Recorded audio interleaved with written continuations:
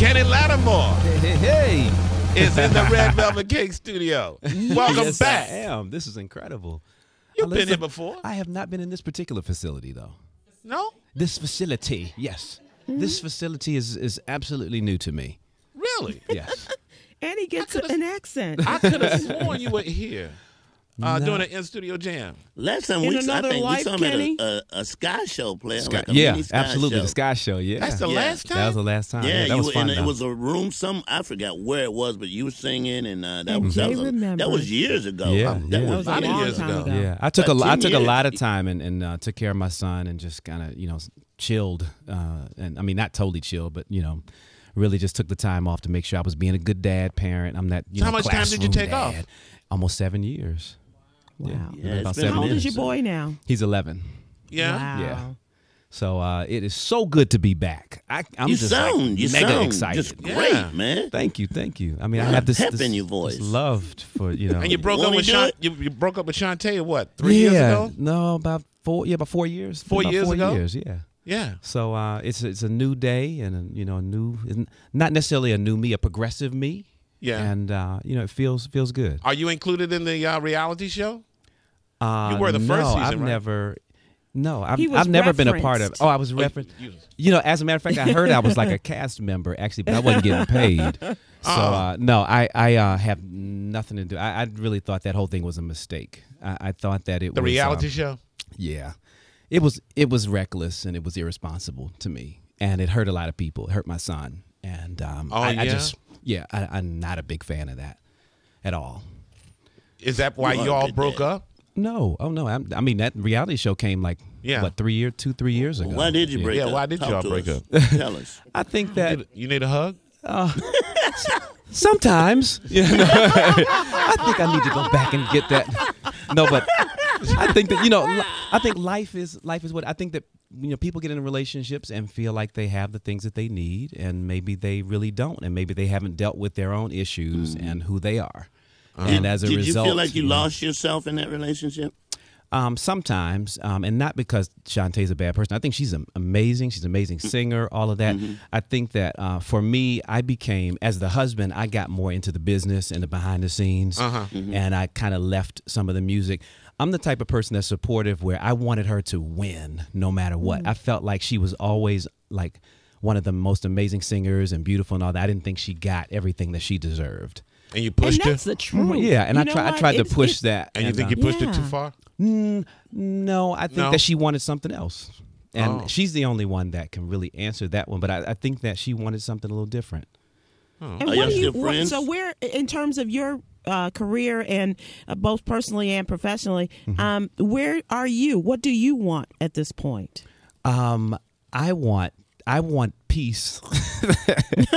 and Oh, so no relationships. Okay. no, no, no, All right. I, no, no. In all, in all honesty, uh, I no, I'm totally open right now, and I wasn't for a number of years because I know a lot of people say this, but it really is true. When you go through a divorce, it is really like a death. And um, and there's different statistics. People come up and they say, well, the time period that sometimes you've it's been like a married, and it is. Yeah. But you still have to go through that period of transition. And some people say it takes you about half of the time you were actually together to heal before you can move on because I mean, I was really dedicated to my marriage and I loved her. So when you get into the whole idea of, um, you know, I've, somebody new being in your life and, and, and all of that, it's, it's quite a transition. So I think I'm just getting to the point where I'm open because there's a certain amount of safety that a man is looking, looking for ladies when he's in a relationship. And, um, you know, a lot of the public stuff and the things that were happening, I think made my feeling unsafe linger for a long period of time. I was hearing so many different things, and I was like, "Wow, what?" And I thought maybe it was for for money or for you know, um, you know, people trying to remain relevant in the media. That stories were being made up and all kind of other stuff. And I just was like, you know, I'm not going to give any energy to that. I'll wait. So what about And, the uh, what about yeah. the new music? Is the new music about um Not at all. Not at all. Would never. Is it a would never do reflection it. of where you are now? It is a reflection of where I am now. Anatomy of a Love Song is all the the things that I think make up a great love song. Whether it's the highs and lows, breakups, makeups, Um, in addition to that, some of the sounds that I loved growing up, from the Philly sound to Donny Hathaway. I have a duet with Lalah Hathaway that's reminiscent of Donny Hathaway. Which have- one is that? Uh, Nothing Like You is what it's called. Nothing like you. Nothing Like You. And then I have a song that reminds me of uh, like a Marvin Gaye and Ron Isley. Whoa, whoa, whoa. You know, Whoa, whoa, whoa, Hold now. up. Whoa. You know, Whoa. I mean, Whoa.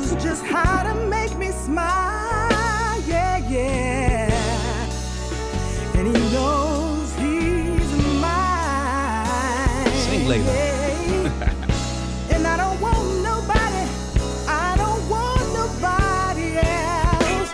Nothing like you. Nothing like you. Oh. What, which, which one is that Marvin Gaye? that is called. Um, You're not worried, are you? no, no, not at About all. going to court? No, no, no, no, no. You know, we've been talking about that every day. Oh my God, you stay relevant. Oh, I mean, this is like so amazing. Um, we, I one- think that I made which one is reference the to- Marvin Gaye? It's called "You're My Girl," Okay. but I don't think this is gonna remind you of any particular Marvin song. But it's got a Ah. Marvin flavor to it. That's the same thing Robin Thicke and Pharrell said. In court. Didn't work out too well for them.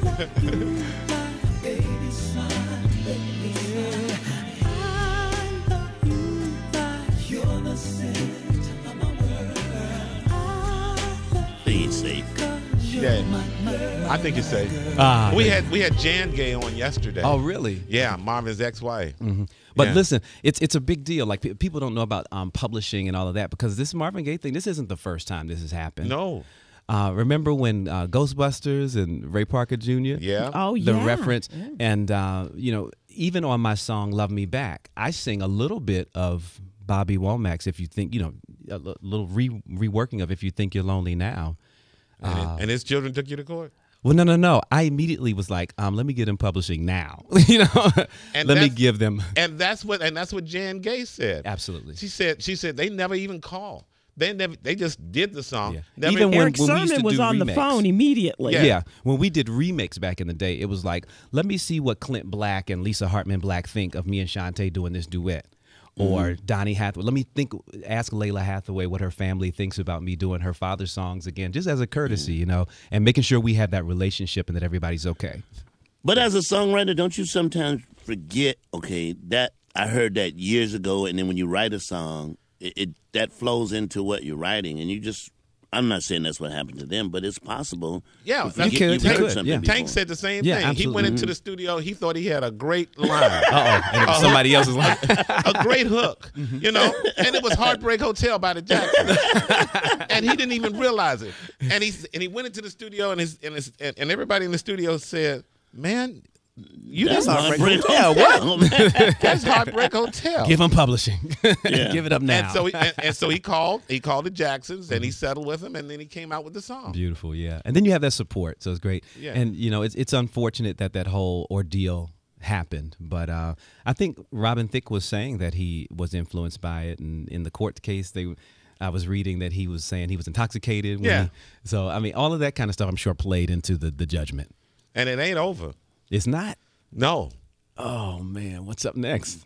Uh, some more songs on his. He, Some he more did a- you know, he did a lot of He Marvin did Gaye like songs. after the Really? dance, a lot. He did a lot of stuff. Yeah. Yeah. Wow, yeah. wow, wow. Well, I'm, gonna be, I'm gonna be praying for the brother. 'Cause that's a big chunk out of the pocketbook. All right.